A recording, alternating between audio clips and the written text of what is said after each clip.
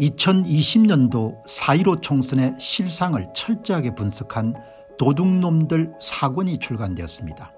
여러분께서 구매해 주시고 널리 퍼뜨려 주시기 바랍니다. 선거를 바로 세우고 나라를 바로 세우는 정의로운 길에 여러분께서 적극 힘을 더해 주시기 바랍니다. 감사합니다. 안녕하십니까 공병호입니다. 이재명 더불어민주당 당대표 이름이 또 거론되기 시작했네요. 이번에는 한간에 그동안 말이 많았던 것처럼 그 이석기 내란죄와 관련된 그 수사 과정에서 수사를 받지 않고 빠지는 그런 경우가 발생했다 이런 내용이 이제 떠올랐습니다. 기사를 찬찬히 읽어보면서 참 이재명 당대표가 이 보면은 아주 이 사람이 참 그 뭐라고 할까 수단과 방법을 참 잘 사용하구나 라는 생각이 들기도 하고 그 다음에 이제 그런 이석희 내란 사건에서도 빠지게 된 그런 중요한 그런 그 계기가 김만배 씨가 큰 일을 또 담당을 했구만요. 그러니까 김만배에게 큰 이익이 돌아가지 않을 수 없도록 그렇게 만드는 뭐 그런 역할을 했겠네요. 권순일 재판거래 의혹에서도 덕을 보고 뭐 여러 가지 그냥 그러니까 예. 뭐 이런 상황에서도 이제 많은 사람들의 그런 기대와 달리 이재명 당대표가 과연 사법 그런 판단을 받아서 제대로 그런 자신의 혐의에 대해서 제값을 치르게 될 수 있을까 그런 부분에 대해서 회의적으로 보시는 분들이 많지 않습니까 참 수단이 좋은 사람입니다. 보니까 이재명이 또 거론됐는데 이번에는 이석희 내란 사건 그 충분하게 그 사건의 전후를 보게 되면은 그럴 수도 있을 있겠구나 난 그런 생각이 드는 거죠. 대장동 50억 클럽을 수사 중인 서울중앙지검이 2013년도 수원지검이 이석희 내란 선동사건 수사 당시에 이재명 관련된 것을 제외했다 이런 내용이 이제 수사물망에 올랐네. 그 당시에 이제 수원지검장을 맡고 있었던 사람은 뭐 예를 들면은 김만배 씨와 절친한 사이를 유지하고 김만배 씨에게 법률적인 조언을 안기지 않았던 전 검찰총장이 김수남 씨네요. 통진당 자금줄 의심받은 단체의 성남시장으로 재임하면서 많은 것을 밀어줬다 이런 혐의를 받고 있네요. 대장동 50억 클럽 의혹을 수사 중인 서울중앙지검이 이스키 내란 선동 사건 수사 당시에 이재명 민주당 대표가 수사 대상에 빠졌다는 의혹에 대해서 조사 중이고 그 당시에 수원지검장은 전 검찰총장이었던 김수남 씨고 그 청탁을 한 사람이 바로 화천대유의 김만배였다.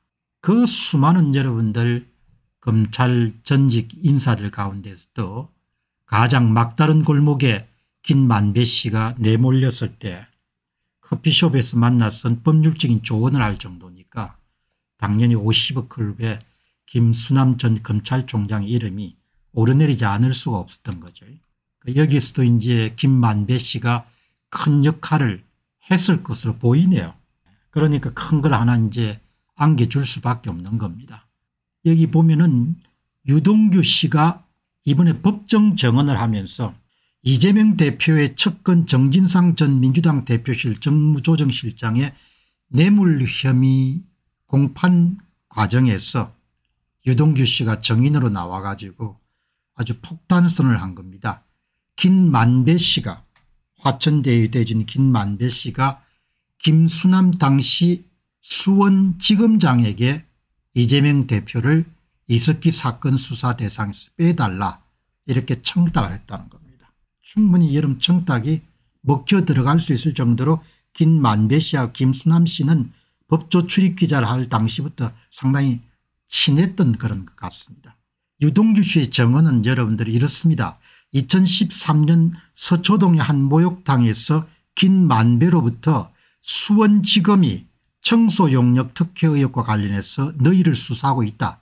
그 사건으로 이재명을 몰아낼 생각을 갖고 있다. 이런 이야기를 들었다고 전하자 그러자 유동규 씨가 김만배에게 만배 형이 힘을 좀 써달라 이렇게 부탁을 했고 이후에 김수남 수원지검장은 그걸 수사에서 뺐다고 들었고 정진상에게 보고를 했고 이재명 당시 성남시장과 김수남 당시 수원지검장이 통화를 했다고 들었다. 그런 내용을 정언한 겁니다. 그리고 이제 성남시장으로 재직하고 있으면서 아마 선거에서 그런 통진당 후보가 자진 이렇게 후보를 사퇴하고 후보 단일화에 협조한 걸로 수십억 달러의 수십억 불에 수십억에 해당하는 그런 용역을 통진당 관련된 단체에게 제공했다. 그런 내용이 이제 지금 나오네요. 2011년 1월 나눔 환경을 민간 위탁 첨수업체로 선정했고 2014년부터 2019년 나눔 환경과 총 56억여 원 규모의 수의 계약을 체결했다. 이 당시에 이제 시장이 이재명 씨고 2010년 성남시장 선거에 출마했던 통합진보당 김미희 후보가 이재명 대표와 후보 단일을 하면서 나눔 환경의 수의 계약을 몰아주도록 요청했고 결국은 이제 통진당의 자금줄 역할을 한 그런 청소 대형 업체의 성남시장으로서 56억 금 상당의 그런 발주를 한 거죠.